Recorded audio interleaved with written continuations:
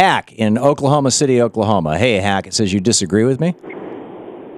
Well, I don't understand. Betsy McCaughey is is an expert on uh, healthcare. I've read her book, and you turn it into some sort of political discussion.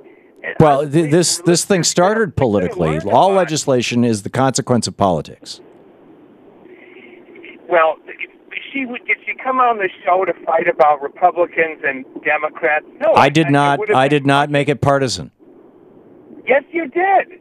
Okay, well, Republicans. all right. Well, let- okay. To the extent that Influence the left. Republicans universally oppose Obamacare and Democrats promote it, I was asking what is the motivation of Democrats? I know what the motivation of Democrats was when they passed Social Security.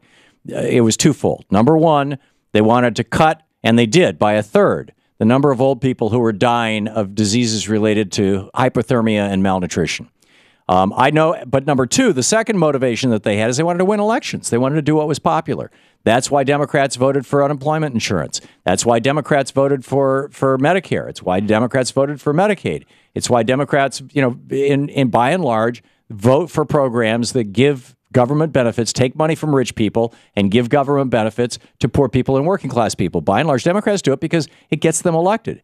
Um, and I understand why Republicans oppose those things because they, by and large, are funded by the rich people. I understand all that.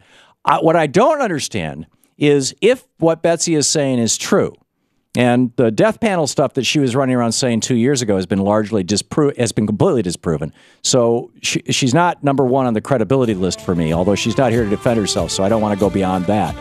But if what she says is true, I don't understand why Democrats would promote a piece of legislation that they say here, just like with Medicare and Social Security, we're going to do something for the average person, the working person, the poor person, but not actually do it. Actually do it in a way that screws older people who are who overwhelmingly show up to vote, and and a large percentage of them vote for Democrats. I don't get it. Hack, thanks for the call. You're listening to the Thom Hartmann Program. Call 866 987 THOM.